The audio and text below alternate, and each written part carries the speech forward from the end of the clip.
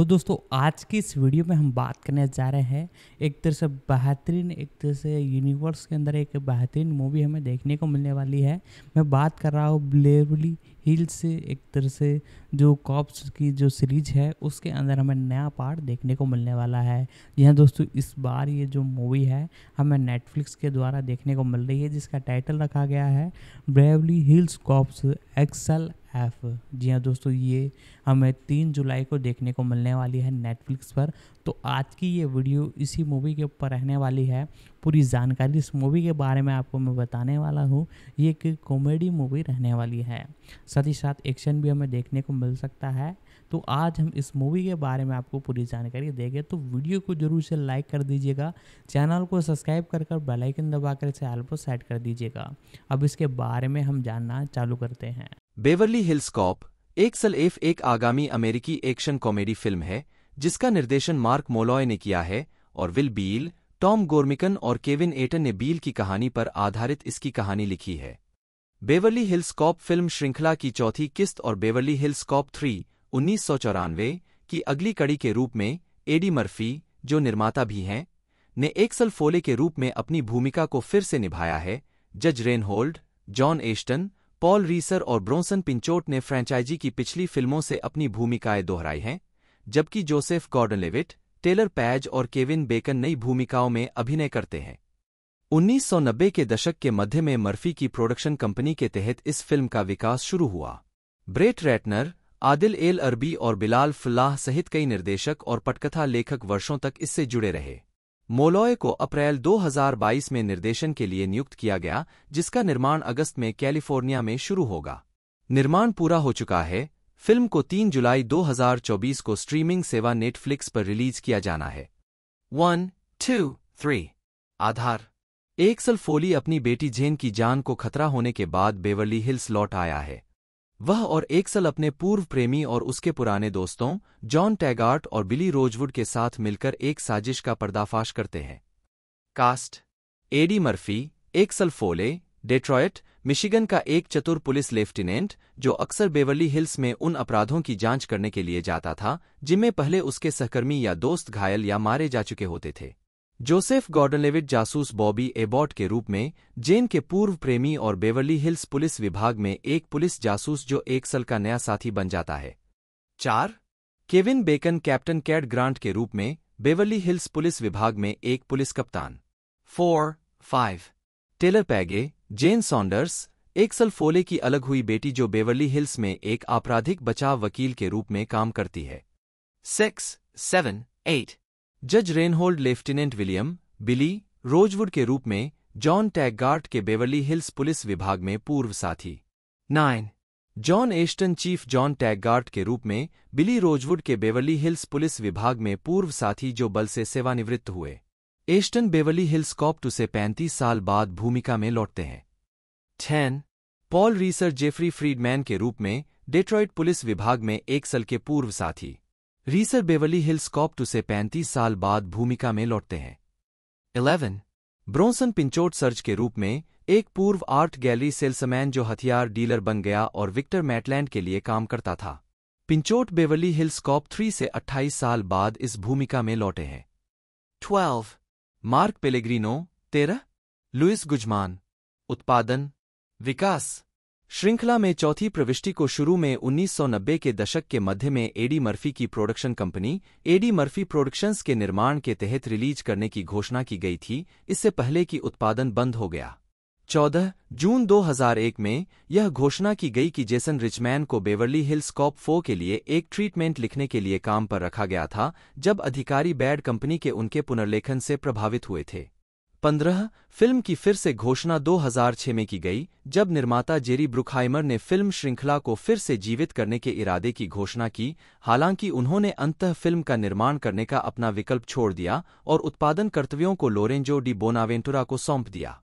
सोलह, सत्रह, सितंबर 2006 में, एक स्क्रिप्ट, जो कई पुराने ड्राफ्ट का एक समामेलन थी, मर्फी को प्रस्तुत की गई, जिसे रूपरेखा से, बहुत खुश, बताया गया, जिसे मूल की भावना को पुनः प्राप्त करने के प्रयास के रूप में वर्णित किया गया। अठारह, उन्नीस, मर्फी ने स्वीकार किया कि चौथी बेवर्ली हिल्स कॉप फ़िल्म बनाने के लिए उनकी प्रेरणाओं में से एक इस तथ्य की भरपाई करना था कि तीसरी फ़िल्म, भयानक, थी और वह श्रृंखला को ऐसे ही छोड़ना नहीं चाहते थे। 2021 मई 2008 में रश ओवर के निर्देशक ब्रेट रेटनर को आधिकारिक तौर पर निर्देशक नामित किया गया था। यह वादा करते हुए कि फ़िल्म एक अफवाह वाले कमज़ोर पीजी तेरह के बजाय श्रृंखला के मानक आर रेटिंग के तहत वापस आएगी। 22, 23 जुलाई 2008 में माइकल ब्रांट और डेरेक हास को मौजूदा स्क्रिप्ट में सुधार करने के लिए पटकथा लेखक के रूप में काम पर रखा गया था। 24 और working title Beverly Hills Cop 2009 के तहत एक नई स्क्रिप्ट पूरी की, जिसमें फोली अपने दोस्त बिली रोजवुड की हत्या की जाँच करने के लिए बेवर्ली हिल्स लौटेगा। 14 स्क्रिप्ट को अंतः अस्वीकार कर दिया गया, जिससे रेटनर को एक नए विचार पर काम करना पड़ा। एम्पायर पत्रिका के साथ एक साक्षात्कार में रेटनर ने कहा, मैं चौथे पर बहुत मेहनत कर रहा हूँ। यह बहुत मुश्किल है, खासकर जब से पहले तीन थे। हम कुछ महत्वपूर्ण चीज़ों का पता लगाने की कोशिश कर रहे हैं जैसे, हम कहाँ से शुरू करें? क्या एक सल सेवानिवृत्त हो गया है? क्या वह बेवली हिल्स में है? क्या वह छुट्टी पर है? क्या जज रेनहोल्ड प्यारे बिली रोजवुड के रूप में वापस आते हैं? पता लगाने के लिए कई सवाल हैं, लेकिन मुझे उम्मीद है कि फ़िल्म के हमारे अस्तित्व से गायब होने से पहले एक स्क्रिप्ट होगी। 14. हालाँकि मर्फी ने इस परियोजना के लिए प्रतिबद्धता जताई, लेकिन यह पुष्टि नहीं हुई कि श्रृंखला के अन्य प्रमुख अभिनेता, जज Reinhold, John Ashton Ronny Cox और ब्रोंसन पिंचोट वापस आएँगे या नहीं 25. रेटनर ने 2009 के अंत में कहा कि वह रेनहोल्ड और एस्टन को उनकी भूमिकाओं को फिर से करने के लिए मनाने की कोशिश कर रहे थे 26. हेरोल्ड फाल्टमेयर की एक्सल एफ़ निश्चित रूप से प्रस्तावित चौथी किस्त के लिए वापस आ जाएगी, रेटनर के हवाले से कहा गया, यह वापस आएगी लेकिन यह पूरी तरह से नई व्याख्या होगी 27 15 नवंबर 2010 को रेटनर ने एमटीवी के साथ एक साक्षात्कार में कहा कि अभी भी एक संभावना है कि वे एक चौथी फ़िल्म बनाएँगे, लेकिन यह जल्द ही कभी भी नहीं होगी। 28 अक्टूबर 2011 में मर्फी ने संभावित चौथी फ़िल्म पर चर्चा करते हुए कहा, वे ऐसा नहीं कर रहे हैं। अब मैं जो करने की कोशिश कर रहा हूँ, वह एक सल फोले के बेटे को लेकर एक टीवी शो का निर्माण करना है और एक सल अब डेट्राइट में पुलिस प्रमुख हैं। मैं पायलट करूँगा, यहाँ वहाँ दिखाऊँगा। कोई भी फ़िल्म की स्क्रिप्ट सही नहीं थी, यह आधार को ज़बरदस्ती थोपने की कोशिश कर रही थी।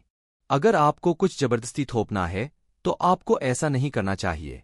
यह हमेशा पुरानी बात को दोहराता रहता था। यह हमेशा गलत था। उनतीस 2013 की गर्मियों के आखिर में, जब सीबीएस ने टीवी सीरीज़ को पास करने का फैसला किया तो पैरामाउंट ने चौथी फ़िल्म के साथ आगे बढ़ने का फैसला किया। 13 सितंबर 2013 को जेरी ब्रुखाइमर ने कहा कि वह फिर से निर्माण के लिए बातचीत कर रहे थे। 6 दिसंबर 2013 को यह फिर से घोषणा की गई कि एडी मर्फी एक्सल फोले की भूमिका को फिर से निभाएँगे और ब्रेट रेटनर निर्देशन करेंगे। 30 मर्फी को उनकी भागीदारी के लिए 15 मिलियन डॉलर का भुगतान किया गया। 31 दो मई 2014 को डेडलाइन ने घोषणा की कि जोश एप्पलबाम और आंद्रे नेमेक पटकथा लिखेंगे। 32, 33 27 जून 2014 को रोलिंग स्टोन के साथ एक साक्षात्कार में मर्फी ने पारिवारिक अनुकूल फ़िल्में बनाने के वर्षों के बाद एकसल फोले के चरित्र के उग्र प्रकार पर लौटने पर चर्चा की। मर्फी ने कहा, मैंने कई वर्षों से सड़क पर रहने वाले व्यक्ति, कामकाजी वर्ग ब्लू कॉलर चरित्र की भूमिका नहीं निभाई है, इसलिए शायद यह ऐसा हो। ओह, वाह, मुझे याद नहीं था कि वह ऐसा करने में सक्षम था। फ़िल्म की कहानी पर स्टूडियो रिपोर्ट के अनुसार, फोले बेवर्ली हिल्स में अपनी नौकरी छोड़ने के बाद डेट्रोइट लौटेंगे और उन्हें रिकॉर्ड पर सबसे ठंडी सर्दियों का सामना करना पड़ेगा क्योंकि उन्हें अमेरिका के सबसे दृढ़ शहरों में से एक के नए नियमों और पुराने दुश्मनों से निपटना होगा। मिशिगन राज्य ने फ़िल्म प्रोत्साहन में तेरह दशमलव पाँच मिलियन डॉलर की मंजूरी दी, जो राज्य में फ़िल्म निर्माता द्वारा अनुमानित छप्पन दशमलव छह मिलियन डॉलर खर्च पर आधारित है। फ़िल्म की शूटिंग डेट्रोइट और उसके आसपास की जगहों पर की जाएगी और अनुमान है कि इससे तीन सौ बावन श्रमिकों को रोज़गार मिलेगा। यह फ़िल्म मूल रूप से 25 मार्च 2016 को रिलीज़ के लिए निर्धारित की गई थी, चौंतीस, लेकिन 6 मई 2015 को पैरामाउंट पिक्चर्स ने स्क्रिप्ट संबंधी चिंताओं के कारण बेवर्ली हिल्स कॉप फो को अपने रिलीज़ शेड्यूल से हटा लिया। पैंतीस, छत्तीस चौदह जून 2016 को डेडलाइन हॉलीवुड ने बताया कि बेल्जियम के नाटक ब्लैक के निर्देशक आदिल एल अरबी और बिलाल फल्लाह फ़िल्म का निर्देशन करेंगे। सैंतीस, अड़तीस, उनतालीस सितंबर 2017 में अरबी और फल्लाह ने मर्फी के साथ अभिनय करने के लिए टॉम हार्डी या चैनिंग टैटम को कास्ट करने में अपनी रुचि व्यक्त की। 40 अगस्त 2019 में फ़िल्म को अभी भी विकास के चरण में बताया गया था। इकतालीस, बयालीस एक अक्टूबर 2019 को कोलाइडर के साथ एक साक्षात्कार में मर्फी ने घोषणा की कि मुख्य फोटोग्राफी कमिंग दो अमेरिका के फिल्मांकन के बाद शुरू होगी। तैंतालीस, चौदह नवंबर 2019 को डेडलाइन हॉलीवुड ने घोषणा की कि पैरामाउंट पिक्चर्स ने फ़िल्म को विकसित करने के लिए नेटफ्लिक्स के साथ एक सीक्वल के विकल्प के साथ एक बार का लाइसेंस सौदा किया है। चवालीस, मई 2020 में कोविड 19 महामारी के कारण फ़िल्म निर्माण व्यवसाय में देरी के बाद, अरबी और फल्ला ने पुष्टि की कि वे अभी भी सहनिर्देशक के रूप में जुड़े हुए हैं और एक नया पटकथा लेखक फ़िल्म की नई पटकथा पर काम कर रहा है।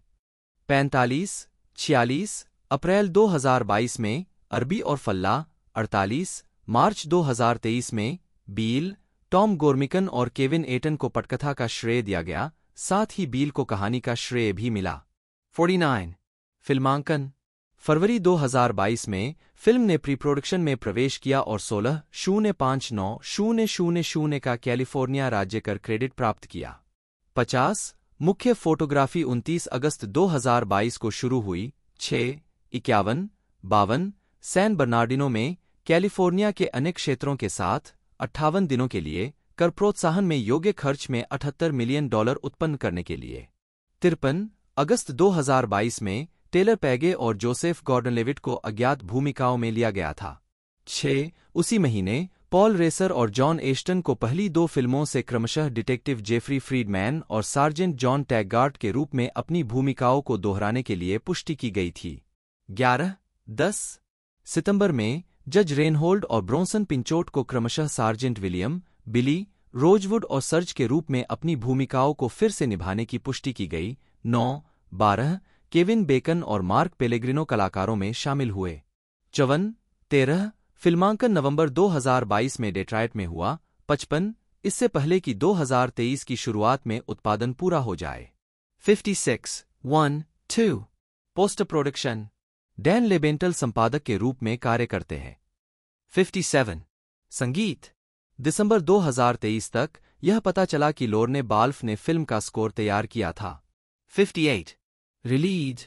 एक फरवरी 2024 को नेटफ्लिक्स के एक स्लेट घोषणा वीडियो से पता चला कि Beverly Hills Cop, Axel F को 3 जुलाई 2024 को स्ट्रीमिंग सेवा पर रिलीज़ किया जाना है।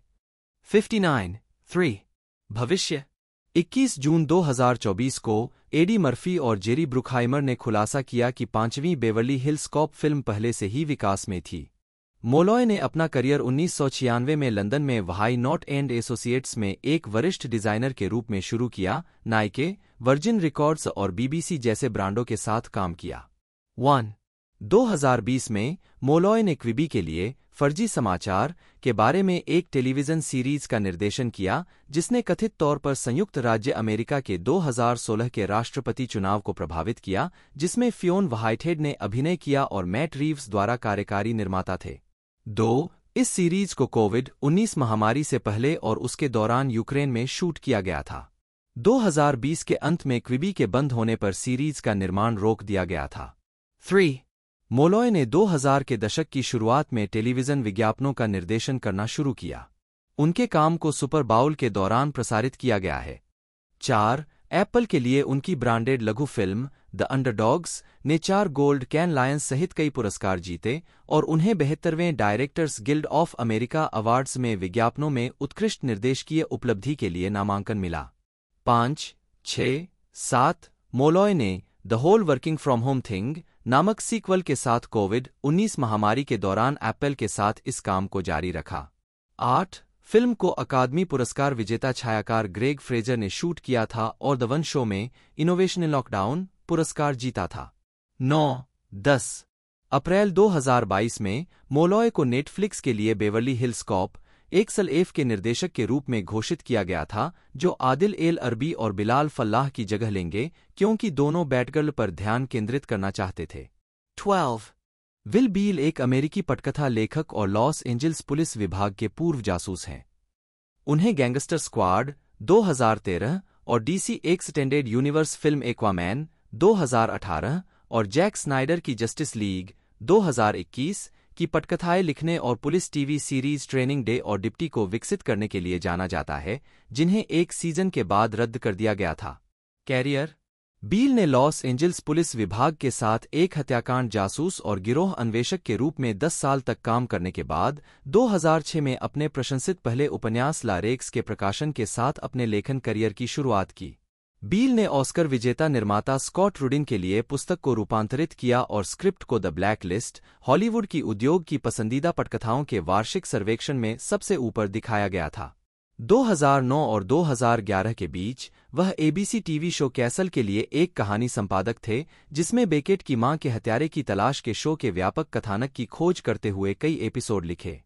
बील ने फीचर फ़िल्म गैंगस्टर स्क्वाड लिखी, जो 2013 में रिलीज़ हुई और इसमें शॉन पेन, रेयान गोसलिंग और जोश ब्रोलिन ने अभिनय किया। यह फ़िल्म लॉस एंजल्स टाइम्स के पूर्व लेखक और संपादक पॉल लीबरमैन की पुस्तक, गैंगस्टर स्क्वाड पर आधारित है, जो कि 1940 के दशक के मध्य में पुलिस और मिकी कोहेन के दल के बीच हुई लॉस एंजल्स की लड़ाई का एक गैरकाल्पनिक विवरण है। जस्टिस लीग के लिए बील की स्क्रिप्ट स्नाइडर की बैटमैन बनाम सुपरमैन के निर्माण से पहले पूरी हो गई थी। वास्तव में, बैटमैन बनाम सुपरमैन का नाइटमेयर सीक्वेंस बील की जस्टिस लीग स्क्रिप्ट से प्रेरित था।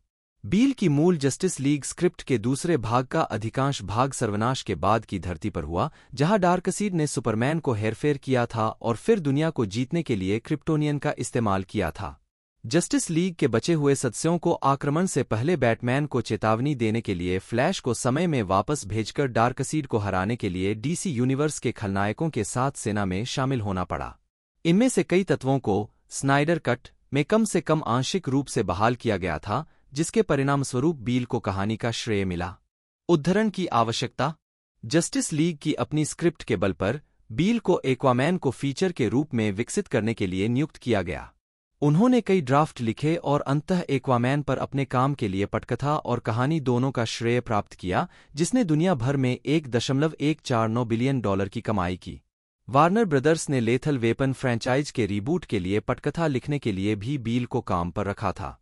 आईजीएन के अनुसार, बील कॉनन द बारबेरियन की अगली कड़ी द लीजेंड ऑफ़ कॉनन की पटकथा लिख रहे हैं। एक, डेडलाइन हॉलीवुड के अप्रैल 2022 के एक लेख में, बील को बेवर्ली हिल्स कॉप एक सल एफ़ की पटकथा लिखने की घोषणा की गई थी। टू बील ने non stop Edge of Tomorrow और वेनम के लिए बिना श्रेय के प्रोडक्शन रीराइट भी किया। व्यक्तिगत जीवन। बील ने 30 जून 2012 को कैलिफ़ोर्निया के सोनोमा वैली के बेल्टेन रेंज में कैसल निर्माता और लेखिका एलिजाबेथ डेविस से शादी की। 3. 2019 में अपने पैसिफिक पैलिसेड्स कार्यालय में काम करते समय बील को दिल का दौरा पड़ा और उन्हें एंबुलेंस द्वारा अस्पताल ले जाया गया। रास्ते में बील का दिल रुक गया लेकिन तेरह राउंड डिफिब्रिलेशन और लगातार सीपीआर के बाद, अस्पताल पहुँचने के तुरंत बाद, उनका रक्त संचार फिर से शुरू हो गया। बील को चिकित्सकीय रूप से प्रेरित कोमा में रखा गया था, लेकिन वे पूरी तरह से ठीक हो गए। अप्रैल 2019 में, वे और उनकी पत्नी लॉस एंजल्स के अग्निशामकों और पैरामेडिक्स के लिए एक समारोह में शामिल हुए, जिसने उनकी जान बचाने में मदद की। फोर, लेखन श्रेय। पतली परत। वर्ष शीर्षक टिप्पणियाँ। 2013 गैंगस्टर दस्ता। 2018 Aquaman David Leslie, Johnson McGoldrick के साथ सहलिखित। 2021 जैक स्नाइडर की न्याय लीग केवल कहानी। 2024 बैड बॉयज़, राइड और डाई, पाँच, क्रिस ब्रेमन के साथ सहलिखित। Beverly Hills Cop, Axel F, छह, टॉम गोर्मिकन और केविन एटन के साथ सहलिखित। डैनियल मैनिक्स पेट्री जूनियर, जन्म तीस नवंबर उन्नीस सौ इक्यावन, एक एक कनाडाई अमेरिकी, दो, निर्माता, लेखक और फ़िल्म और टेलीविज़न के निर्देशक हैं। तीन, उन्हें बेवली हिल्स कॉप और टर्नर एंड हुज जैसी फ़िल्मों के माध्यम से एक्शन कॉमेडी और बड़ी कॉप फ़िल्मों की उपशैलियों, चार, को आगे बढ़ाने के लिए जाना जाता है। पाँच, उन्होंने उन्नीस सौ सत्तानवे और 1999 के बीच और फिर 2004 और 2005 के बीच Writers Guild of America West के अध्यक्ष के रूप में कार्य किया। छह वह वर्तमान में राइटर्स गिल्ड फाउंडेशन में निदेशक मंडल के अध्यक्ष के रूप में कार्य करते हैं। सेवन जीवन और करियर। पेट्री का जन्म कनाडा में डैनियल पेट्री सीनियर एक फ़िल्म निर्देशक और डोरोथिया, एक निर्माता, उपन्यासकार और अभिनेत्री के घर हुआ था। उन्होंने नॉर्थफील्ड माउंट हर्मन स्कूल और रेडलैंड्स विश्वविद्यालय में भाग लिया, मनोविज्ञान और रचनात्मक लेखन में डिग्री हासिल की। दो मूल रूप से एक साहित्य के एजेंट उन्होंने अपने पिता के नक्शेकदम पर चलते हुए एक पटकथा लेखक के रूप में फ़िल्म उद्योग में शामिल हो गए। उनकी पहली पटकथा बेवली हिल्स कॉप एक दशक के दौरान कई पुनर्लेखन और कई मौलिक रूप से अलग पुनरावृत्तियों का परिणाम थी। एट। एक समय पर यह फ़िल्म सिल्वेस्टर स्टेलोन अभिनीत एक गंभीर एक्शन फ़िल्म थी। नौ एक ऐसा प्रोजेक्ट जिसे बाद में स्टेलोन ने अपने साथ लिया और कोबरा में विकसित किया। परेशान करने वाले उत्पादन इतिहास के बावजूद, फ़िल्म एक बड़ी आलोचनात्मक और वित्तीय सफलता थी, जिसने 15 मिलियन डॉलर के बजट से दुनिया भर में 300 मिलियन डॉलर से अधिक की कमाई की 10 और जेनेट मसलिन 11 और रिचर्ड स्किकेल जैसे आलोचकों से प्रशंसात्मक समीक्षा अर्जित की। 12 फ़िल्म की अधिकांश कॉमेडी अभिनेताओं द्वारा सुधारे जाने के बावजूद, तेरह पेट्री के योगदान ने उन्हें अकादमी पुरस्कार और एडगर पुरस्कार नामांकन के रूप में प्रशंसा अर्जित की। पेट्री ने 1980 और 1990 के दशक में कई प्रसिद्ध और अच्छी तरह से प्राप्त फ़िल्में लिखीं, जिनमें डेनिस क्वैड और एलेन बार्किन अभिनीत offbeat crime thriller The Big Easy भी शामिल है। उन्होंने निर्देशक रोजर स्पॉटिसवुड के लिए दो फ़िल्में लिखीं 1988 की thriller film Shoot to Kill और टॉम हैंक्स की कॉमेडी टर्नर एंड हुच, और तीसरी फ़िल्म द सिक्सथ डे का निर्माण किया। उनका अधिकांश काम अपराध कथा के अंतर्गत आता है। उन्होंने टॉय सोल्जर्स के साथ अपने निर्देशन की शुरुआत की, जो उन्नीस सौ इक्यानवे की एक एक्शन फ़िल्म थी, जो किशोरों के एक समूह के इर्द गिर्द घूमती थी, जो आतंकवादियों से लड़ते हैं, जिन्होंने उनके प्रीप स्कूल पर कब्जा कर लिया है।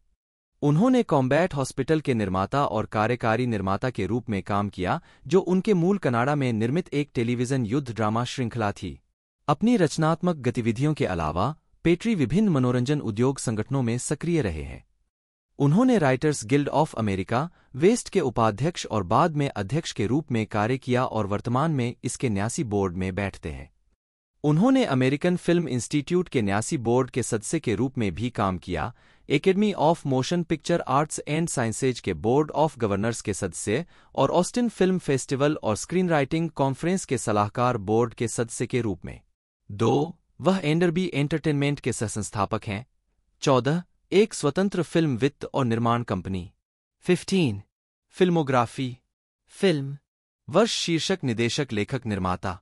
उन्नीस सौ चौरासी बेवर्ली हिल्स कॉप नहीं हाँ नहीं। उन्नीस सौ छियासी द बिग ईजी नहीं हाँ नहीं। उन्नीस सौ अट्ठासी को मारने के लिए गोली मारो नहीं हा हा। उन्नीस सौ नवासी टर्नर और हूच नहीं हा कार्यकारिणी। उन्नीस सौ इक्यानवे सैनिकी खिलौने हाहा नहीं। उन्नीस सौ चौरानवे सेना में अब हाहा नहीं। 2014 डाउन पेट्रोल हा नहीं हा। 2015 रोजमोंट हा नहीं हा। केवल कार्यकारी निर्माता। कंगारू कोर्ट, उन्नीस सौ चौरानवे, लघु फ़िल्म। छठा दिन 2000 No Tell Motel 2013 Silver Falls पर भूत हा 2013 रक्तपात 2013 ब्लैकवे 2015 एक साधारण आदमी 2017 इंट्रिगो एक लेखक की मृत्यु 2018 A Haunting at Silver Falls दो 2019 Intrigo, Dear Agnes 2019 Intrigo, Samaria 2019 शून्य संपर्क, टीबीए। अग्नि निगरानी, टीबीए। अभिनय श्रेय। वर्ष शीर्षक भूमिका। उन्नीस सौ बानवे प्रतिष्ठित सज्जन एस बेस्टोस लॉबिस्ट। उन्नीस सौ चौरानवे सेना में अब लेफ्टिनेंट कर्नल। टेलीविज़न। वर्ष शीर्षक लेखक कार्यकारी, निर्माता टिप्पणियाँ। उन्नीस सौ पंचानवे मेरे साथ रहो, बच्चे नहीं हा दस एपिसोड। उन्नीस सौ छियानवे से उन्नीस सौ सत्तानवे द बिग ईजी नहीं हा तेईस एपिसोड।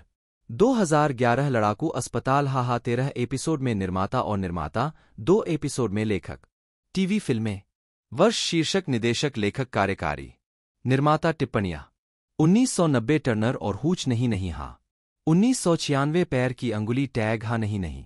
उन्नीस सौ सत्तानवे संपूर्ण शांति हा नहीं नहीं स्लॉटर हाउस ट्रूपर के रूप में कैमियो। 2002 फ्रेम हा हा नहीं। 2007 होलिस वुड्स की तस्वीरें नहीं हा नहीं। जोसेफ लियोनार्ड गॉर्डन लेविट बटा एलवीटी बटा, जन्म 17 फरवरी 1981 एक अमेरिकी अभिनेता हैं। उन्हें कई पुरस्कार मिले हैं, जिसमें 500 डेज़ ऑफ़ समर 2009 और 50 बटा 50 2011 में उनके प्रमुख प्रदर्शन के लिए सर्वश्रेष्ठ अभिनेता मोशन पिक्चर म्यूजिकल या कॉमेडी के लिए गोल्डन ग्लोब अवार्ड के लिए नामांकन शामिल है। वह online media platform hit record के संस्थापक हैं, जिनके प्रोजेक्ट जैसे हिट रिकॉर्ड ऑन टीवी 2014 से 15 और क्रिएट टुगेदर 2020 ने उन्हें उत्कृष्ट इंटरैक्टिव प्रोग्राम की श्रेणी में दो प्राइम टाइम एमी अवार्ड दिलाए हैं। लॉस एंजल्स में एक यहूदी परिवार में जन्मे गॉर्डन लेविट ने एक बच्चे के रूप में अपना अभिनय करियर शुरू किया, जो A River Runs Through It, उन्नीस सौ बानवे, होली मैट्रिमोनी, उन्नीस और एंजेल्स इन द आउटफील्ड, उन्नीस सौ चौरानवे, फ़िल्मों में दिखाई दिए, जिसने उन्हें यंग आर्टिस्ट अवार्ड और सैटर्न अवार्ड के लिए नामांकित किया। उन्होंने टीवी सीरीज़ तीन रॉक फ्रॉम द सन, एक हज़ार नौ सौ छियानवे से 2001 में टॉमी सोलोमन की भूमिका निभाई। उन्होंने दस Things I Hate About You उन्नीस सौ निन्यानवे में सहायक भूमिका निभाई और कोलंबिया विश्वविद्यालय में अध्ययन करने के लिए अभिनय से ब्रेक लेने से पहले डिज्नी एनिमेटेड ट्रेजर प्लैनेट 2002 में जिम हॉकिंस को आवाज़ दी लेकिन अपने अभिनय करियर को फिर से शुरू करने के लिए 2004 में पढ़ाई छोड़ दी। वन अभिनय में वापसी के बाद से गॉर्डन लेविट ने Manic 2001, Mysterious Skin 2004, Brick 2005, GI Joe The Rise of Cobra 2009, Inception 2010, The Dark Knight Rises 2012, Looper 2012 और लिंकन 2012 में अभिनय किया है। उन्होंने रॉबर्ट जेमेकिस निर्देशित फ़िल्म द वॉक 2015 में फिलिप पेटिट और ओलिवर स्टोन फ़िल्म स्नोडेन 2016 में व्हिसलब्लोअर एडवर्ड स्नोडेन की भूमिका निभाई। 2020 में उन्होंने कानूनी drama The Trial of the Chicago सात में सहायक भूमिका निभाई। 2013 में उन्होंने डॉन जॉन नामक एक कॉमेडी ड्रामा फ़िल्म लिखी और निर्देशित की, जिसे सकारात्मक समीक्षा मिली, दो, और उन्हें सर्वश्रेष्ठ प्रथम पटकथा के लिए इंडिपेंडेंट स्पिरिट अवार्ड के लिए नामांकन मिला। उन्होंने पहले दो लघु फ़िल्मों का निर्देशन और संपादन किया था, जो दोनों 2010 में रिलीज़ हुई थीं, मॉर्गन एम। मॉर्गनसेन की डेट विद डेस्टिनी और Morgan and Destiny's Eleventeenth Date The Zeppelin Zoo 2021 में उन्होंने एप्पल टीवी प्लस पर एक comedy drama series Mr Corman को लिखा, निर्देशित और अभिनय किया। प्रारंभिक जीवन। जोसेफ लियोनार्ड गॉर्डन लेविट का जन्म 17 फरवरी 1981 को लॉस एंजल्स, कैलिफ़ोर्निया में हुआ था। तीन, और उनका पालनपोषण शर्मन ओक्स पड़ोस में हुआ था। चार, उन्होंने कहा है कि वह 100 परसेंट अश्केनाजी यहूदी वंश के हैं। पाँच, एक ऐसे परिवार से जो कड़ाई से धार्मिक नहीं है। छह, उनके माता पिता प्रगतिशील यहूदी गठबंधन के संस्थापकों में से थे। सात, गॉर्डन लेविट के पिता, डेनिस लेविट, एक बार Pacific radio station KPF K FM के समाचार निदेशक थे। आठ, नौ, उनकी माँ, जेन गॉर्डन 1970 के दशक में पीस एंड फ्रीडम पार्टी के लिए कैलिफ़ोर्निया में यूनाइटेड स्टेट्स कांग्रेस के लिए दौड़ी। वह डेनिस लेविट से मिली जब वह K P F K F M आठ, गॉर्डन लेविट का एक बड़ा भाई, डैन। दस, ग्यारह, एक फोटोग्राफर और फायर स्पिनर था, जिसकी 2010 में 36 वर्ष की आयु में मृत्यु हो गई। बारह, गॉर्डन लेविट ने वैन नुएस हाई स्कूल में पढ़ाई की और 1999 में स्नातक किया। 13 कैरियर, प्रारंभिक अभिनय कार्य। 2009 में 500 डेज़ ऑफ़ समर के प्रचार कार्यक्रम में गॉर्डन लेविट। गॉर्डन लेविट चार साल की उम्र में एक संगीत थिएटर समूह में शामिल हो गए और द विजार्ड ऑफ़ ओज के निर्माण में बिजुका की भूमिका निभाई। इसके बाद उन्हें एक एजेंट ने संपर्क किया और वे टेलीविज़न पर और Sunny Jim peanut butter, Cocoa Puffs, Pop Tarts और किन्नी शूज़ के विज्ञापनों में दिखाई देने लगे। एट। छह साल की उम्र में उन्होंने कई टेलीविज़न फ़िल्मों में अभिनय किया। उन्नीस सौ इक्यानवे में उन्होंने डार्क शेडोज टेलीविज़न श्रृंखला में डेविड कोलिंस और डैनियल कोलिंस दोनों की भूमिका निभाई और film A River Runs Through It में दिखाई दिए। चौदह, उसी वर्ष, उन्होंने क्वांटम लीप के एक एपिसोड में एक लड़के की भूमिका निभाई, जो एक हत्या का गवाह बनता है। एक हज़ार नौ सौ बानवे से तिरानवे के दौरान, उन्होंने जॉन फोर्सिथ अभिनीत एक sitcom The Powers That Be में पियर्स वान हॉर्न नामक एक चतुर युवा लड़के की भूमिका निभाई। उन्नीस सौ बानवे में भी उन्होंने टीवी के लिए बनी फ़िल्म स्विचिंग पेरेंट्स में ग्रेगरी किंग्सले का किरदार निभाया। सैन फ्रांसिस्को क्रॉनिकल ने उल्लेख किया कि गॉर्डन लेविट एक यहूदी बच्चा था जो एक यहूदी बच्चे होने का नाटक करते हुए एक अलौकिक व्यक्ति की भूमिका निभा रहा था। पंद्रह, उन्नीस के दशक के दौरान उन्हें अक्सर किशोर पत्रिकाओं में दिखाया जाता था। उन्होंने उन्नीस सौ अट्ठानवे में दैट, सत्तर एस शो में बड़ी के रूप में भी उपस्थिति दर्ज कराई, जो एक समलैंगिक किशोर है, जो मानता है कि उसका दोस्त मुख्य चरित्र एरिक फॉर्मन भी समलैंगिक है, एपिसोड एरिक के बड़ी में। 16 गॉर्डन लेविट ने उन्नीस सौ अट्ठानवे की है एलोवीन एज 20 20 ईयर्स लेटर 1999 की फ़िल्म दस Things I Hate About You, जो शेक्सपियर के The Taming of the Shrew का आधुनिक समय का रूपांतरण है, में सहायक भूमिका निभाई थी और ट्रेजर आइलैंड उपन्यास के डिज्नी रूपांतरण ट्रेजर प्लैनेट 2002 में जिम हॉकिंस की आवाज़ दी थी। सत्रह 2000 में उन्होंने कोलंबिया विश्वविद्यालय में जाना शुरू किया। आठ, उन्होंने इतिहास, साहित्य और फ्रेंच कविता का अध्ययन किया। आठ, वह एक उत्साही फ्रैंकोफाइल और फ्रेंच वक्ता बन गए। आठ, उन्होंने अभिनेत्री जूलिया स्टाइल्स को भी डेट किया और दोनों जॉन जे हॉल में रहते थे। अठारह, उन्होंने कहा कि अपने गृहंगर से न्यूयॉर्क शहर में जाने से उन्हें एक व्यक्ति के रूप में विकसित होने के लिए मजबूर होना पड़ा। बाद में अभिनय कार्य। गॉर्डन लेविट ने कहा है कि उन्होंने अभिनय में वापसी के बाद अच्छी फ़िल्मों में काम करने का एक सचेत निर्णय लिया।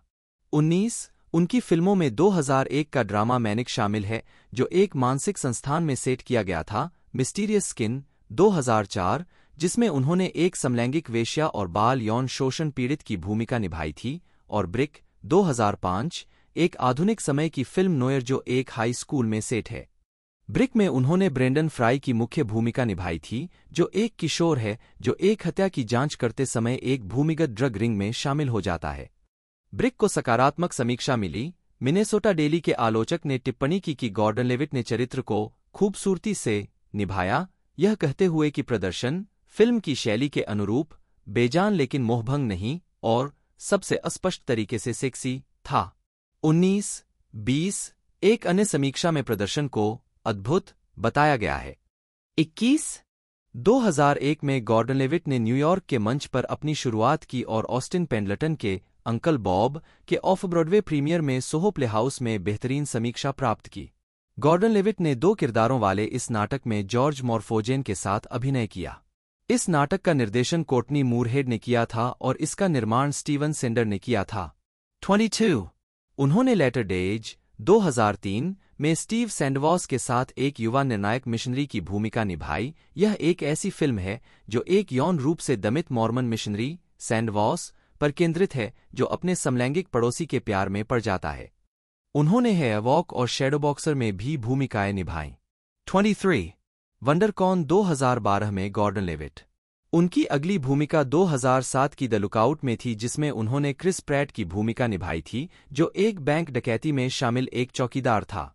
फ़िल्म की समीक्षा में, द फिलाडेल्फिया इंक्वायरर ने गॉर्डन लेविट को आश्चर्यजनक रूप से दुर्जेय और दुर्जेय रूप से आश्चर्यजनक, अग्रणी व्यक्ति के रूप में वर्णित किया।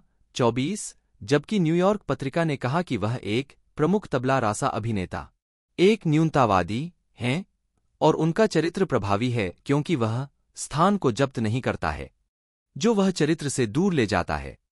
25 सैन फ्रांसिस्को क्रॉनिकल ने निर्दिष्ट किया कि वह एक चरित्र के आंतरिक जीवन को निभाने से कहीं अधिक उसका प्रतीक है। 15 उनकी 2008 और 2009 की फ़िल्मों में स्टॉप लॉस गॉर्डन लेविट ने 500 डेज़ ऑफ़ समर में दोस्त जूई डेशनेल के साथ मुख्य भूमिका निभाई, जो एक रिश्ते के विक्टन के बारे में 2009 की एक अच्छी तरह से प्राप्त रिलीज़ थी। 23 उनके प्रदर्शन को वास्तविक कुंजी के रूप में वर्णित किया गया है, जो फ़िल्म को सफल बनाता है। उन्हें सूक्ष्म क्रमिकताओं में उनके सामान्य जादू का उपयोग करने का श्रेय दिया जाता है। 26 वैरायटी के टॉड मैकार्थी ने उनके प्रदर्शन की प्रशंसा करते हुए कहा कि वह जैक लेमन के तरीके से उत्साह और निराशाजनक निराशा के बीच स्पष्ट रूप से बारी बारी से काम करते हैं। 27 रोलिंग स्टोन के पीटर ट्रेवर्स ने कहा कि फ़िल्म आपको शुद्ध रोमांटिक ऑक्सीजन के विस्फोट की तरह प्रभावित करती है और दोनों मुख्य अभिनेताओं को इसे वास्तविक रूप से निभाने के लिए सूक्ष्मता और भावना की समझ के साथ जो हवादार कर्तव्य की पुकार से परे है, का श्रेय दिया। 28 बाद में उन्हें गोल्डन ग्लोब अवार्ड के लिए नामांकित किया गया। 29 बाद में उन्होंने GI Joe the Rise of cobra में खलनायक कोबरा कमांडर की भूमिका निभाई। 30 21 नवंबर 2009 को उन्होंने सैटरडे नाइट लाइव की मेजबानी की। 31 2010 में उन्होंने जेम्स फ्रेंको 32 की जगह ली और क्रिस्टोफर नोलन की साइंस फिक्शन थ्रिलर इंसेप्शन में लियोनार्डो डिकैप्रियो के साथ अभिनय किया, जिसे अनुकूल समीक्षा मिली। 23 2011 में गॉर्डन लेविट ने क्रिस्टोफर नोलन की द डार्क नाइट राइज का फिल्मांकन शुरू किया, जिसमें उन्होंने जॉन ब्लेक की भूमिका निभाई, जो एक पुलिस अधिकारी है, जो बैटमैन का प्रमुख सहयोगी बनकर उभरता है। तैंतीस। प्रीमियम रश में उन्होंने एक फिक्सी राइडिंग तेजतर्रार साइकिल संदेशवाहक की मुख्य भूमिका निभाई। उन्होंने टाइम ट्रैवल थ्रिलर लूपर के लिए साझा भूमिका में ब्रूस विलिस के चरित्र के युवा संस्करण को चित्रित किया। चौंतीस और स्टीवन स्पीलबर्ग की बायोपिक लिंकन में रॉबर्ट टॉड लिंकन की सहायक भूमिका निभाई। तीनों फ़िल्में 2012 में रिलीज़ हुईं।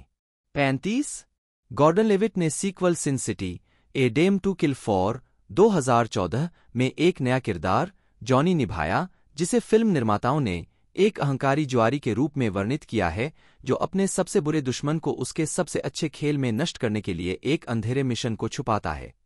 छत्तीस अक्टूबर 2013 में यह बताया गया कि वह मार्वल स्टूडियोज की सुपरहीरो फ़िल्म एंटमैन के लिए स्कॉट लैंग बटा एंटमैन टू की भूमिका निभाने वाले सबसे आगे थे, जो अंत पॉल रूड के पास चली गई।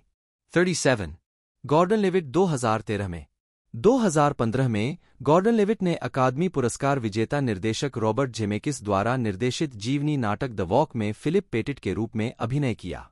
गॉर्डन लेविट ने तब ओलिवर स्टोन द्वारा निर्देशित स्नोडेन में राष्ट्रीय सुरक्षा एजेंसी निगरानी लीकर एडवर्ड स्नोडेन की भूमिका निभाई।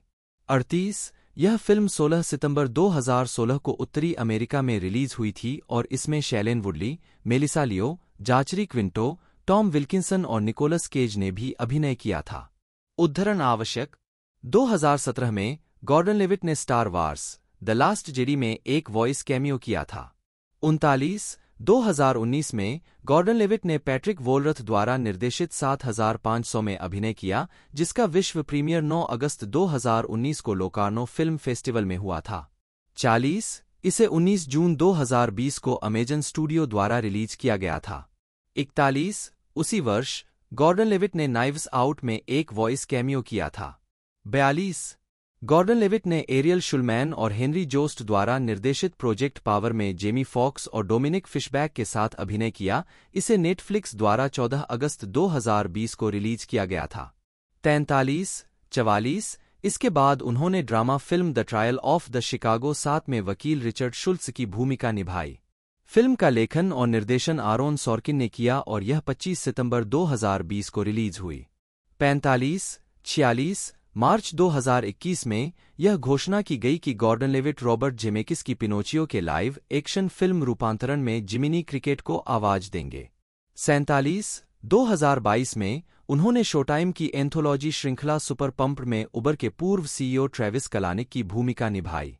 निर्देशन और निर्माण निर्देशक के रूप में गॉर्डन लेविट की पहली फ़िल्म 24 मिनट लंबी स्पार्क्स, कार्ला गुगिनो और एरिक स्टोल्च, अभिनीत एलमोर लियोनार्ड की एक लघु कहानी का रूपांतरण थी। स्पार्क्स को लघु फ़िल्मों के लिए एक नए कार्यक्रम के हिस्से के रूप में दिखाए जाने के लिए 2009 के संडांस फ़िल्म फेस्टिवल के लिए चुना गया था। 50 2010 में उन्होंने एक और लघु film, Morgan and Destiny's Eleventeenth Date, The Zeppelin Zoo का निर्देशन किया।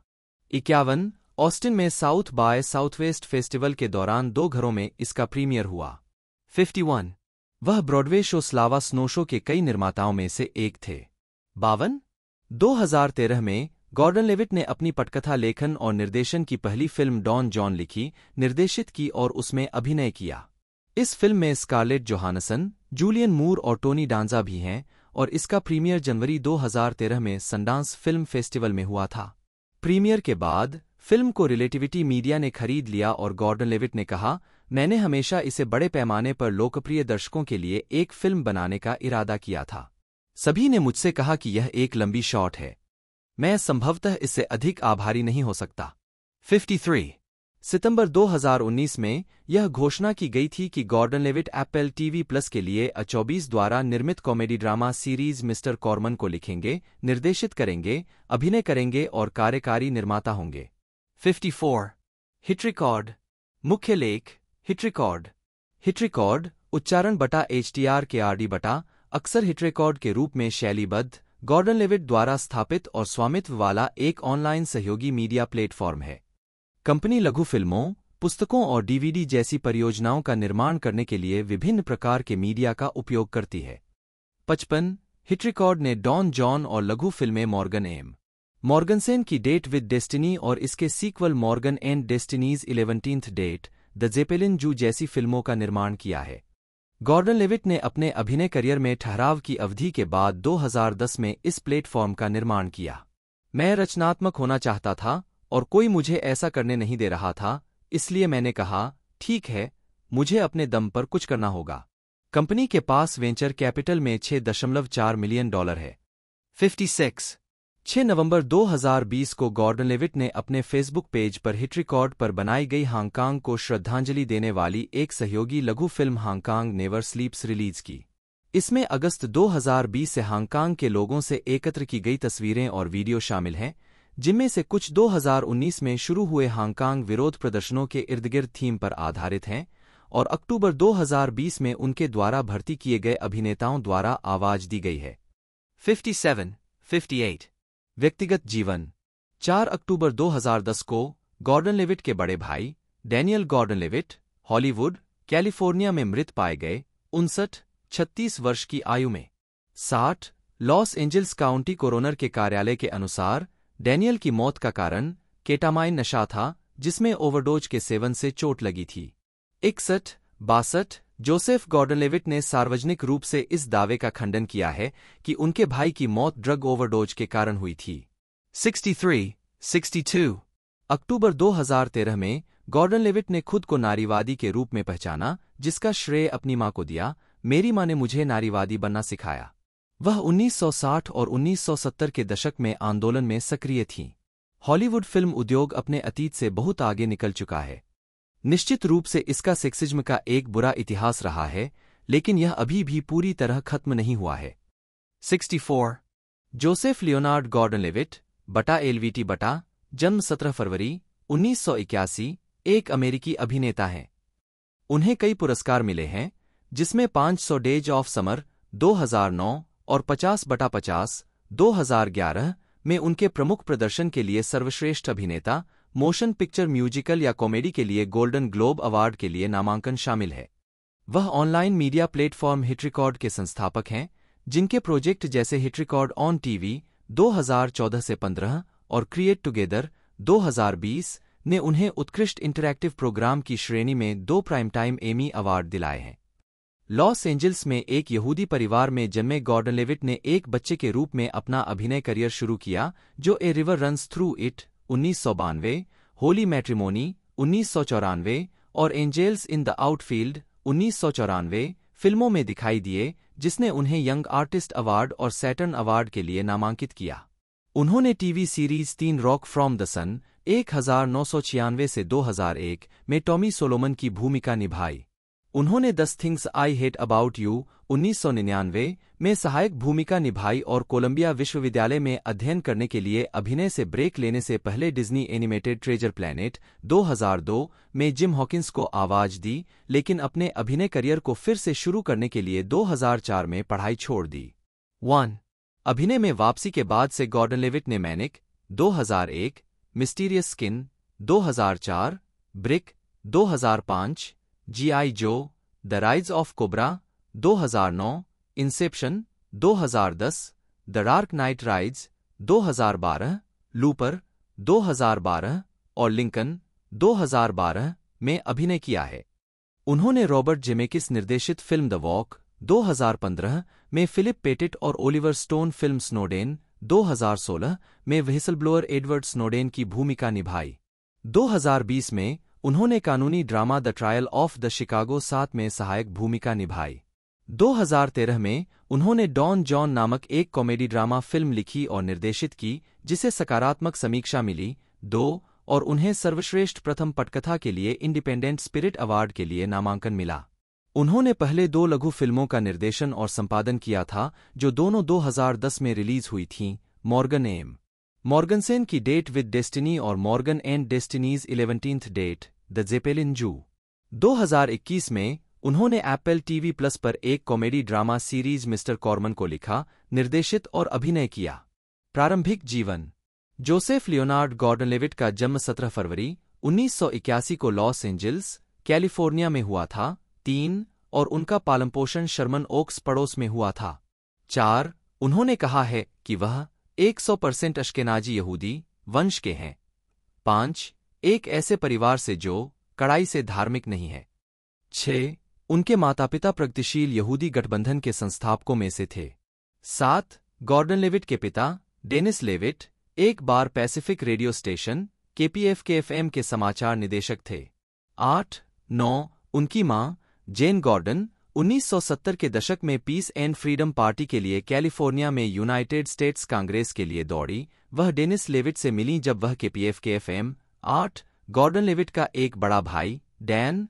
दस, ग्यारह, एक फोटोग्राफर और फायर स्पिनर था, जिसकी 2010 में 36 वर्ष की आयु में मृत्यु हो गई। बारह, गॉर्डन लेविट ने वैन नुएस हाई स्कूल में पढ़ाई की और 1999 में स्नातक किया। 13 कैरियर, प्रारंभिक अभिनय कार्य। 2009 में 500 डेज़ ऑफ़ समर के प्रचार कार्यक्रम में गॉर्डन लेविट। गॉर्डन लेविट चार साल की उम्र में एक संगीत थिएटर समूह में शामिल हो गए और द विजार्ड ऑफ़ ओज के निर्माण में बिजुका की भूमिका निभाई। इसके बाद उन्हें एक एजेंट ने संपर्क किया और वे टेलीविज़न पर और Sunny Jim peanut butter, Cocoa Puffs, Pop Tarts और किन्नी शूज़ के विज्ञापनों में दिखाई देने लगे। एट। छह साल की उम्र में उन्होंने कई टेलीविज़न फ़िल्मों में अभिनय किया। उन्नीस सौ इक्यानवे में उन्होंने डार्क शेडोज टेलीविज़न श्रृंखला में डेविड कोलिंस और डैनियल कोलिंस दोनों की भूमिका निभाई और film A River Runs Through It में दिखाई दिए। चौदह, उसी वर्ष, उन्होंने क्वांटम लीप के एक एपिसोड में एक लड़के की भूमिका निभाई, जो एक हत्या का गवाह बनता है। एक हज़ार नौ सौ बानवे से तिरानवे के दौरान, उन्होंने जॉन फोर्सिथ अभिनीत एक sitcom The Powers That Be में पियर्स वान हॉर्न नामक एक चतुर युवा लड़के की भूमिका निभाई। उन्नीस सौ बानवे में भी उन्होंने टीवी के लिए बनी फ़िल्म स्विचिंग पेरेंट्स में ग्रेगरी किंग्सले का किरदार निभाया। सैन फ्रांसिस्को क्रॉनिकल ने उल्लेख किया कि गॉर्डन लेविट एक यहूदी बच्चा था जो एक यहूदी बच्चे होने का नाटक करते हुए एक अलौकिक व्यक्ति की भूमिका निभा रहा था। पंद्रह, उन्नीस के दशक के दौरान उन्हें अक्सर किशोर पत्रिकाओं में दिखाया जाता था। उन्होंने उन्नीस सौ अट्ठानवे में दैट, सत्तर एस शो में बड़ी के रूप में भी उपस्थिति दर्ज कराई, जो एक समलैंगिक किशोर है, जो मानता है कि उसका दोस्त मुख्य चरित्र एरिक फॉर्मन भी समलैंगिक है, एपिसोड एरिक के बड़ी में। 16 गॉर्डन लेविट ने उन्नीस सौ अट्ठानवे की है एलोवीन एज 20 20 ईयर्स लेटर 1999 की फ़िल्म दस Things I Hate About You जो शेक्सपियर के The Taming of the Shrew का आधुनिक समय का रूपांतरण है, में सहायक भूमिका निभाई थी और ट्रेजर आइलैंड उपन्यास के डिज्नी रूपांतरण ट्रेजर प्लैनेट 2002 में जिम हॉकिंस की आवाज़ दी थी। सत्रह 2000 में उन्होंने कोलंबिया विश्वविद्यालय में जाना शुरू किया। आठ, उन्होंने इतिहास, साहित्य और फ्रेंच कविता का अध्ययन किया। आठ, वह एक उत्साही फ्रैंकोफाइल और फ्रेंच वक्ता बन गए। आठ, उन्होंने अभिनेत्री जूलिया स्टाइल्स को भी डेट किया और दोनों जॉन जे हॉल में रहते थे। अठारह, उन्होंने कहा कि अपने गृहंगर से न्यूयॉर्क शहर में जाने से उन्हें एक व्यक्ति के रूप में विकसित होने के लिए मजबूर होना पड़ा। बाद में अभिनय कार्य। गॉर्डन लेविट ने कहा है कि उन्होंने अभिनय में वापसी के बाद अच्छी फ़िल्मों में काम करने का एक सचेत निर्णय लिया। उन्नीस, उनकी फ़िल्मों में 2001 का ड्रामा मैनिक शामिल है, जो एक मानसिक संस्थान में सेट किया गया था, मिस्टीरियस स्किन 2004 जिसमें उन्होंने एक समलैंगिक वेश्या और बाल यौन शोषण पीड़ित की भूमिका निभाई थी, और ब्रिक 2005 एक आधुनिक समय की फ़िल्म नोयर जो एक हाई स्कूल में सेट है। ब्रिक में उन्होंने ब्रेंडन फ्राई की मुख्य भूमिका निभाई थी जो एक किशोर है जो एक हत्या की जाँच करते समय एक भूमिगत ड्रग रिंग में शामिल हो जाता है। ब्रिक को सकारात्मक समीक्षा मिली। मिनेसोटा डेली के आलोचक ने टिप्पणी की कि गॉर्डन लेविट ने चरित्र को खूबसूरती से निभाया।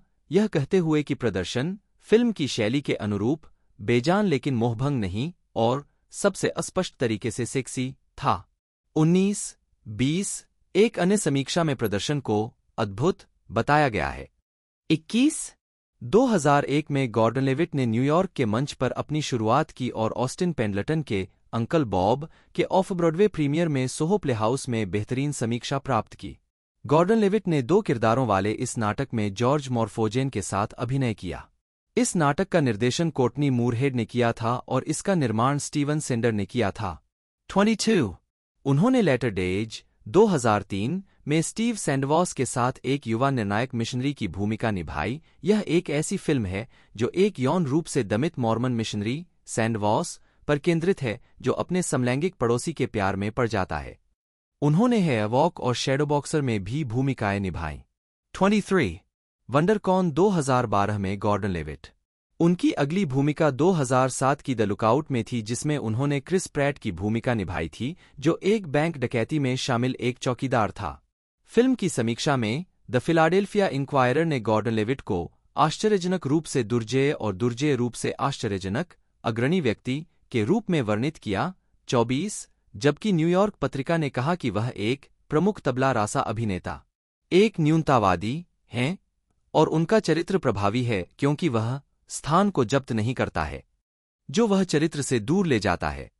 25 सैन फ्रांसिस्को क्रॉनिकल ने निर्दिष्ट किया कि वह एक चरित्र के आंतरिक जीवन को निभाने से कहीं अधिक उसका प्रतीक है।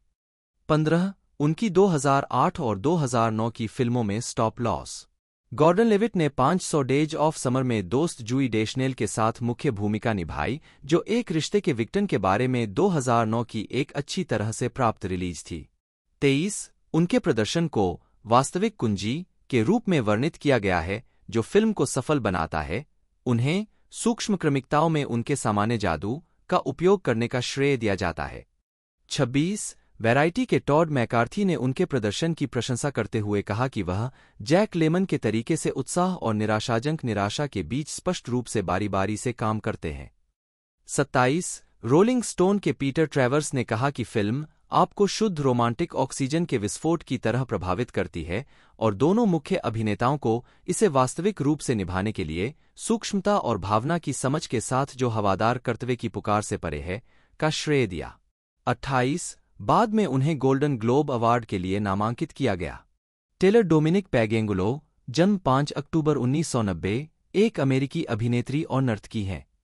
उन्हें फ़िल्म जोला 2020 में एजिया जोला किंग के रूप में उनकी भूमिका के लिए जाना जाता है जिसने उन्हें सर्वश्रेष्ठ महिला लीड के लिए इंडिपेंडेंट स्पिरिट अवार्ड दिलाया। अन्य उल्लेखनीय प्रदर्शनों में वीएच एक sports drama series Hit the Floor Jean of the Joneses 2016, White Boy Rick 2018, Ma Rainey's Black Bottom 2020 और बूगी 2021 में अहशा हेस के रूप में उनकी भूमिका शामिल है। 2022 में पैगी ने संगीत में कदम रखा, केंड्रिक लैमर के साथ वी क्राई टुगेदर गीत पर सहयोग किया, जो बिलबोर्ड हॉट 100 पर शीर्ष 20 में पहुँच गया और उन्हें ग्रैमी पुरस्कार के लिए नामांकन मिला। प्रारंभिक जीवन और शिक्षा।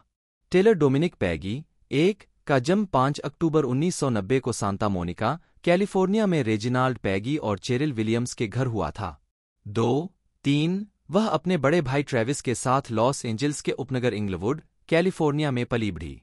चार, पैगी ने दो साल की उम्र में नृत्य करना शुरू कर दिया था और वेनिस के कैटनाप, वेस्ट साइड बैले अकादमी में प्रशिक्षण लिया और बाद में वाशिंगटन, डीसी में किरोव अकादमी ऑफ़ बैले में लगातार दो गर्मियों का समय बिताया 2001 में, वह कोरियोग्राफर डेबी एलन की छात्रा बन गई और उनके संगीत पर्ल के लिए ऑडिशन दिया 5. 6. पेज ने प्लाया डेल रे में Saint Bernard Catholic High School में पढ़ाई की, जहाँ से उन्होंने 2008 में स्नातक की उपाधि प्राप्त की वह 2010 में लॉस एंजल्स लेकर गर्ल बन गई, पाँच, और कॉलेज खत्म करने और अपने अभिनय करियर को आगे बढ़ाने से पहले पेशेवर चीयर लीडिंग स्क्वाड के साथ तीन महीने बिताए। लेकर गर्ल के रूप में, उन्हें 2011 लेकर गर्ल्स कैलेंडर के निर्माण पर फॉक्स स्पोर्ट्स द्वारा एक विशेष कार्यक्रम में दिखाया गया था। सात, वह लोयोला मैरीमाउंट यूनिवर्सिटी से स्नातक हैं। Eight, career.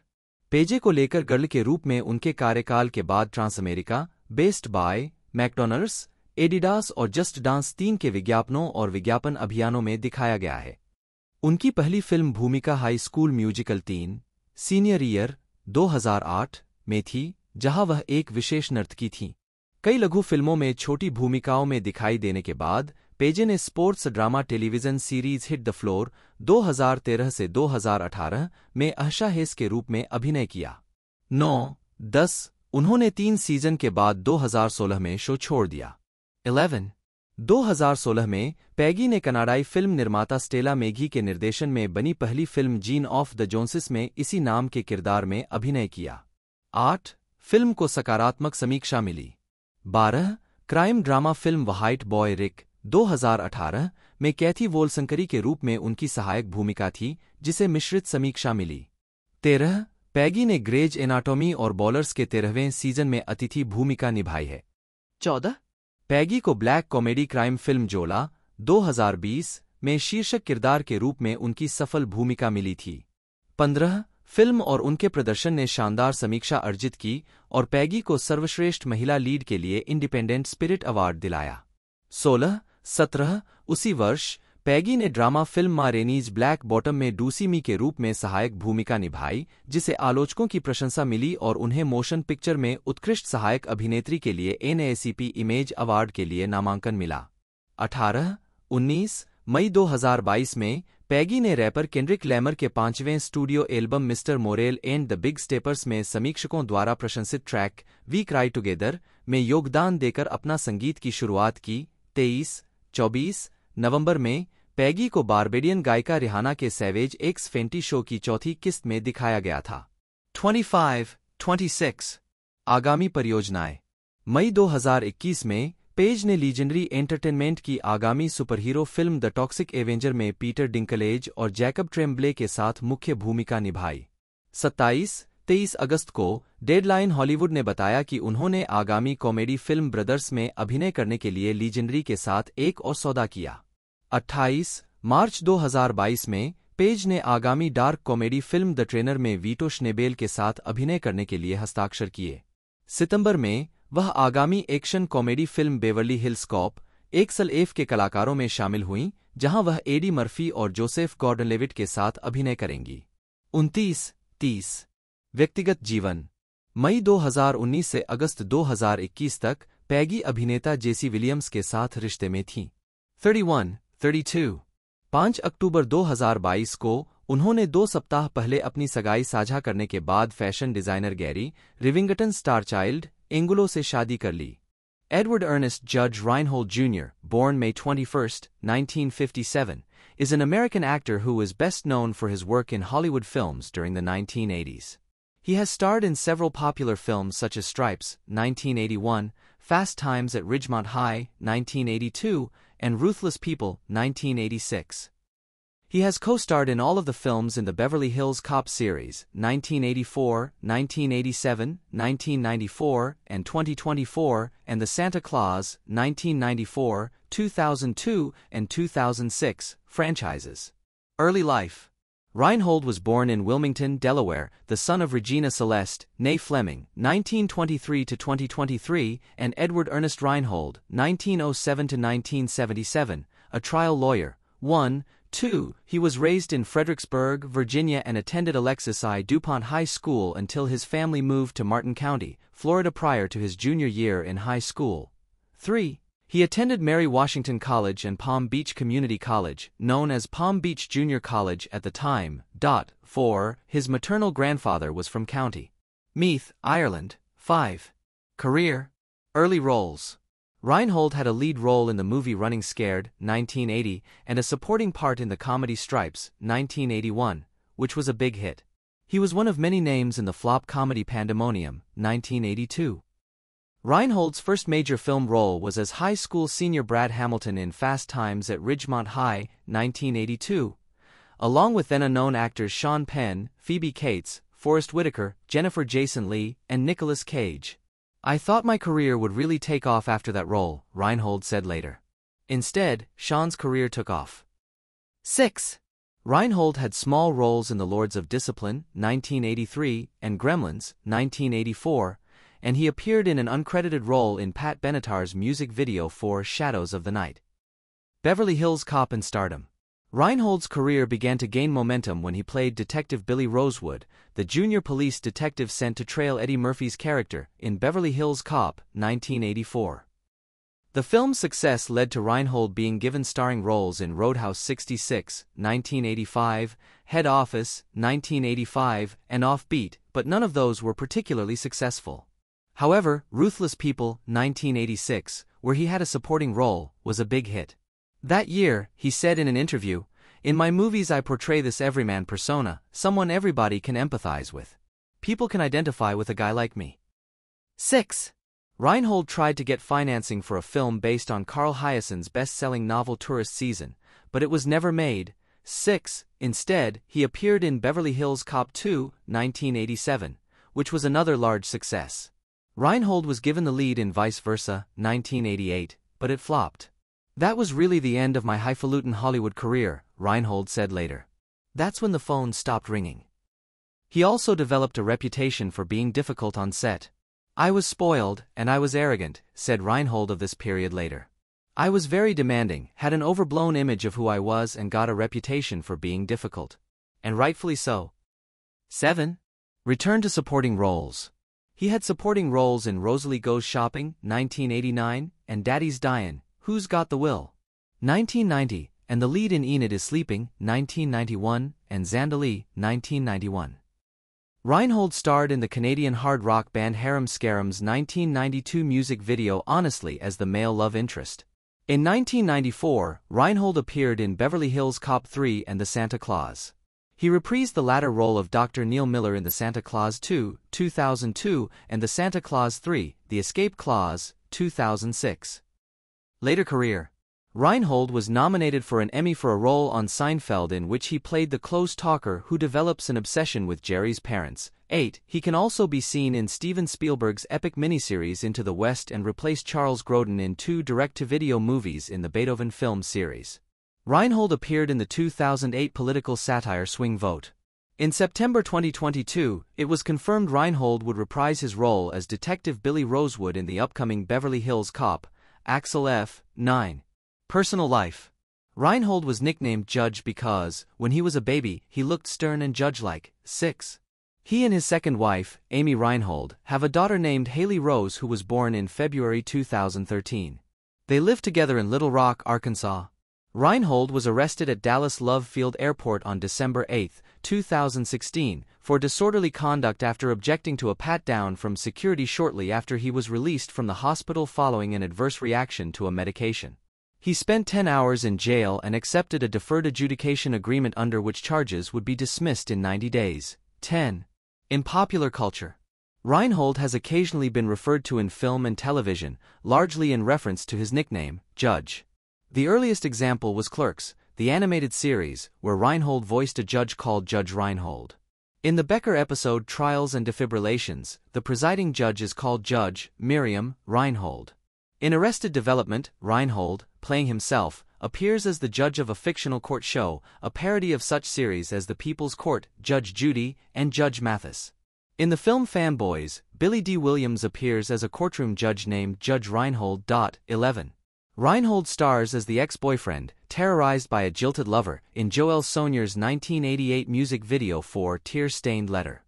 Paul Reiser, बटा आर ए जेड आर बटा जन्म 30 मार्च उन्नीस एक एक अमेरिकी अभिनेता हास्य अभिनेता और लेखक हैं उन्होंने 1980 के दशक के सिटकॉम माई टू डैड्स में Michael Taylor NBC sitcom Mad About You में पॉल बुचमैन 1982 की फ़िल्म डायन में मॉडल 1986 की फ़िल्म एलियंस में कार्टर बर्क और बेवली हिल्स कॉप, उन्नीस बेवर्ली हिल्स कॉप टू, उन्नीस और Beverly Hills Cop Axel F 2024 में जासूस जेफरी फ्रीडमैन की भूमिकाएँ निभाईं। दो, हाल ही में, उन्होंने 2014 की फ़िल्म विप्लैश में जिम नीमन और नेटफ्लिक्स सीरीज़ स्ट्रेंजर थिंग्स में डॉ। सैम ओवेंस के रूप में अपनी भूमिकाओं के लिए पहचान हासिल की है। कॉमेडी सेंट्रल की 2004 की सभी समय के 100 महानतम स्टैंड अप की सूची में रीसर को सतहत्तरवां स्थान दिया गया है। उनकी प्रोडक्शन कंपनी का नाम नोस प्रोडक्शंस फ़िल्म डायन में उनकी एक पंक्ति से प्रेरित है, जहाँ उनका किरदार न्यूअंस शब्द के साथ अपनी असहजता को बताता है। रीसर ने जेम्स कैमरून की एलियंस में लालची, घिनौने कंपनी मैन कार्टर बर्ग का किरदार निभाया, जिसमें उन्होंने अपनी कास्टिंग के विपरीत जाकर अपनी अभिनय क्षमता का प्रदर्शन किया। वह द कोमिंस्की मेथड के दूसरे और तीसरे सीज़न में मिंडी कोमिंस्की के बॉयफ्रेंड मार्टिन के रूप में नज़र आए। प्रारंभिक जीवन। रीसर का जन्म न्यूयॉर्क शहर में 1956 में हुआ था। वे हेलेन हॉलिंगर रीसर 1919 से 2012 के बेटे हैं, जो एक गृहिणी थीं, जो बारूक कॉलेज से स्नातक होने वाली पहली महिलाओं में से एक थीं, और सैमुअल एज। रीसर 1914 से उन्नीस एक थोक स्वास्थ्य खाद्य वितरक जिन्होंने सेना में सेवा की थी। तीन, चार, उनका परिवार रोमानियाई यहूदी वंश का है। उसकी तीन बहनें हैं। उन्होंने ईस्ट साइड हिब्रू इंस्टीट्यूट में पढ़ाई की और स्टुवेसेंट हाई स्कूल से स्नातक किया।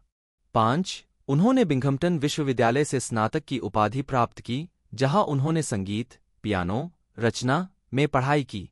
अपने विश्वविद्यालय के वर्षों के दौरान रीसर हिमैन लिटिल थिएटर में छात्र थिएटर प्रस्तुतियों में सक्रिय थे, जो कि रीसर के छात्रावास समुदाय, हिमैन कॉलेज में एक ऑन कैंपस सामुदायिक थिएटर संगठन था। छः उन्होंने विश्वविद्यालय की गर्मियों की छुट्टियों के दौरान न्यूयॉर्क क्लबों में प्रदर्शन करते हुए एक हास्य अभिनेता के रूप में अपनी बुलाहट पाई।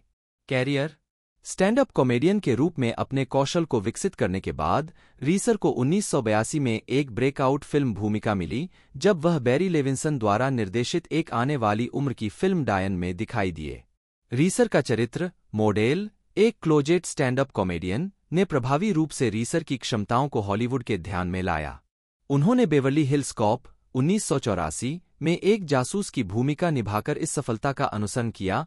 एक भूमिका जिसे उन्होंने इसके sequel Beverly Hills Cop two, उन्नीस सौ सतासी में दोहराया और आगामी बेवली हिल्स कॉप, एक सल एफ़ में फिर से निभाएँगे। दो, रीसर जेम्स कैमरून की एलियंस, उन्नीस सौ छियासी में भी दिखाई दिए, जिसमें उन्होंने खलनायक कार्टर बर्ग की भूमिका निभाई। रीसर ने TV sitcom My Two Dads एक हज़ार नौ सौ सत्तासी से नब्बे में एक किशोर लड़की के दो संभावित पिताओं में से एक के रूप में अभिनय किया और बाद में मैड अबाउट यू, एक हज़ार नौ सौ बानवे से निन्यानवे में पॉल बुचमैन के रूप में उत्तरी अमेरिका में प्रमुखता में आए, एक कॉमेडी सीरीज़ जिसे उन्होंने सहनिर्मित किया, जिसमें हेलेन हंट ने उनकी ऑन स्क्रीन पत्नी के रूप में सहअभिनय किया। वह शो के थीम गीत, द फाइनल फ्रंटियर, डॉन वास के साथ, के सहसंगीतकार भी थे सात और थीम की रिकॉर्डिंग के लिए पियानो बजाया। मैड अबाउट यू में रीसर की भूमिका ने उनके लिए Emmy, Golden Globe, American Comedy Award और स्क्रीन एक्टर्स गिल्ड अवार्ड के लिए नामांकन अर्जित किया।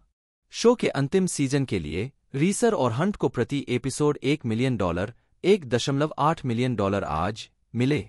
आठ 2018 में मैड अबाउट यू रिवाइवल पर हस्ताक्षर करने के बाद, नौ, इसे मार्च 2019 में स्पेक्ट्रम ओरिजिनल्स द्वारा 12 एपिसोड की सीमित श्रृंखला के रूप में चुना गया, जो 2020 के पतन तक अमेजन प्राइम वीडियो के सदस्यों के लिए उपलब्ध हो गया। 10 2001 में रीसर ने British TV film My Beautiful Son में एक ऐसे व्यक्ति की नाटकीय भूमिका निभाई, जो अपनी जैविक माँ को खोजने के लिए बेताब था। यह जानने के बाद कि वह एक गंभीर बीमारी से ग्रस्त है। 2002 में रीसर ने लैरी डेविड के HBO sitcom, Curb Your Enthusiasm में खुद के रूप में अतिथि भूमिका निभाई। 11 टीवी कॉमेडी फ़िल्म अटलांटा 2007 में रीसर एक जोड़े के आधे हिस्से के रूप में दिखाई देते हैं। जो एक अंतिम संस्कार में मिलने के बाद एक दूसरे से दूर रहने में असमर्थ होते हैं। 12 2010 में रीसर ने गायिका जूलिया फोर्डहेम के साथ मिलकर एक सीडी एल्बम बनाई, जिसका शीर्षक था अनयूजुअल सस्पेक्ट्स जिसमें अनसंग हीरो गीत शामिल है, जो अफ़गानिस्तान में सेवा कर रहे अमेरिकी सैनिकों को समर्पित है। तेरह, अपने करियर की शुरुआत में रीसर मैनचेस्टर के लिए ओपनिंग एक्ट थे। जिन्होंने उन्हें चेतावनी दी थी कि संगीत दर्शक कॉमेडियन के साथ कठोर व्यवहार कर सकते हैं और उनके लिए ओपनिंग करने वाले आखिरी कॉमेडियन ने आंसुओं के साथ मंच छोड़ दिया था। रीसर इस चेतावनी के बारे में और फिर कॉन्कॉर्ड होटल में उनके द्वारा किए गए धमाके के बारे में बताते हैं, जो कि रिच शाइडन और मार्क शिफ द्वारा I Killed, True Stories of the Road में, Don't Worry If They Sock, अध्याय में है। फोर्टीन 2005 में रीसर रीसर ने अर्धात्मकथात्मक कॉमेडी श्रृंखला द पॉल रीसर शो की पटकथा लिखी और उसमें अभिनय किया, जो 2010 से 11 के टीवी सीज़न के दौरान मिड सीज़न प्रतिस्थापन के रूप में एनबीसी पर प्रसारित हुआ। 15 यह अच्छा है। स्टेफनी मिलर रेडियो कार्यक्रम पर रीसर ने टिप्पणी की, क्योंकि आपको चारों ओर बैठकर अन्य शो के असफल होने का इंतज़ार करना पड़ता है। हालाँकि, अपनी शुरुआत से पहले एनबीसी द्वारा लीड टाइम और प्रचार की कमी, साथ ही खराब शेड्यूलिंग के कारण 16, 17 कम रेटिंग वाले शो को 22 अप्रैल 2011 को रद्द कर दिया गया था जिसके केवल दो एपिसोड प्रसारित हुए थे। 18, 19, 20 उन्होंने 2017 की ड्रामेबाजी देयर्स जॉनी।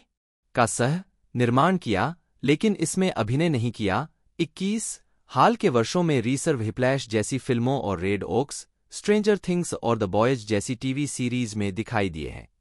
रीसर ने तीन किताबें लिखी हैं। कपलहुड एक प्रतिबद्ध रिश्ते में होने के उतार चढ़ाव के बारे में, बेबीहुड एक पहली बार पिता बनने के अपने अनुभवों के बारे में, और फैमिली हुड मई 2011 में प्रकाशित हास्य निबंधों का एक संग्रह। कपलहुड इस मायने में अद्वितीय है कि यह पृष्ठ 145 से शुरू होता है। रीसर ने इसे पाठक को उपलब्धि का झूठा एहसास दिलाने के अपने तरीके के रूप में समझाया। उन्नीस सौ छियानवे में बेबीहुड लिखने के बीच में रीसर डेविड लेटरमैन के साथ लेट शो में दिखाई दिए। चूँकि उन्होंने अभी तक शीर्षक पर फैसला नहीं किया था, इसलिए उन्होंने एक प्रॉप बुक प्रस्तुत की, जिसका शीर्षक केवल बुक था और जिसका कवर कपलहुड जैसा ही था। 2022 में रीसर द बॉयज़ के सीज़न तीन में द लीजेंड के रूप में दिखाई दिए। 2024 में रीसर एलियंस वहाट इफ़ नामक एक नई मार्वल कॉमिक के लिए अपने एलियंस चरित्र को फिर से पेश करेंगे, जिसमें यह पता लगाया जाएगा कि अगर कार्टर बर्क है एडलीज होप की घटनाओं से बच जाता तो क्या हो सकता था। पुस्तक को उनके बेटे लियोन रीसर ने सहलिखा है, और गुयू विलानोवा ने कला का काम किया है। 22 व्यक्तिगत जीवन। रीसर ने 21 अगस्त 1988 को पाउला रेवेट से शादी की। उनके दो बेटे हैं, उन्नीस सौ पंचानवे और 2000 में पैदा हुए। उनके बड़े बेटे को सेरेब्रल पालसी है, जिसके बारे में रीसर ने फंडरेजर और अन्य कार्यक्रमों में सार्वजनिक रूप से बात की है। 23 रीसर पटकथा लेखक और निर्माता विल रीसर के चचेरे भाई हैं। 24 जिन्होंने अर्धात्मकथात्मक कॉमेडी ड्रामा फ़िल्म 50 बटा 50 2011 लिखी थी। रीसर के पहले चचेरे भाई कानूनी विद्वान रिचर्ड एपस्टीन है। 25 दोस्तों रिलीजिंग डेट के बारे में बात की जाए तो तीन जुलाई 2024 को ये हमें देखने को मिली थी। और 115 मिनट टोटल इसकी लेंथ एक तरह से रहने वाली है। अपकमिंग हमें तीन जुलाई 2024 को ये देखने को मिलने वाली है। बाकी ये उन्नीस सौ चौरानवे की एक तरह से इस फ्रेंचाइजी का एक तरह से रिलेटेड होने वाली है और ये एक तरह से फ्रेंचाइजी उन्नीस सौ चौरानवे से ही हमें देखने को मिल रही है। और अब ये नया पार्ट हमें नेटफ्लिक्स द्वारा हमें ये देखने को मिल रहा है। टीजर ट्रेलर एक तरह से आउट कर दिया गया है। फाइनल ट्रेलर भी आउट कर दिया गया है। आप इसे यूट्यूब पर देख सकते हो। साथ ही साथ दोस्तों, इस मूवी के बारे में बात की जाए तो ये एक तरह से मूवी रहने वाली है। तकरीबन एक घंटा अड़तालीस मिनट टोटल इसकी लेंथ रहने वाली है। तो वीडियो को ज़रूर से लाइक कीजिएगा चैनल को सब्सक्राइब कर लीजिएगा। क्योंकि जैसे ही मूवी रिलीज़ होती है, मैं एक्सप्लेशन की वीडियो आपके कमेंट करने पर ज़रूर से लेकर आऊँगा। तो कमेंट कर दीजिए चैनल को सब्सक्राइब कर लीजिए। तो दोस्तों, आज की इस वीडियो में इतना ही। मिलते हैं अगले वीडियो में।